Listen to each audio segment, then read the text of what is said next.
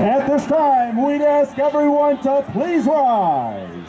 Remove your hats as tonight's colors are presented by the Woods Cross Chatelles.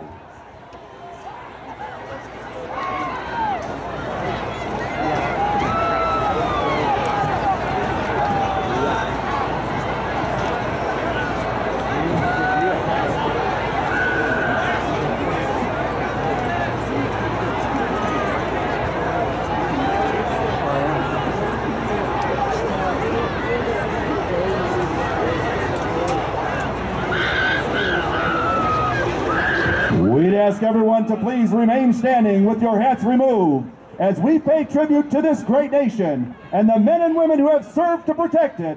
As the best band in the land, the Wildcat Band, plays our national anthem.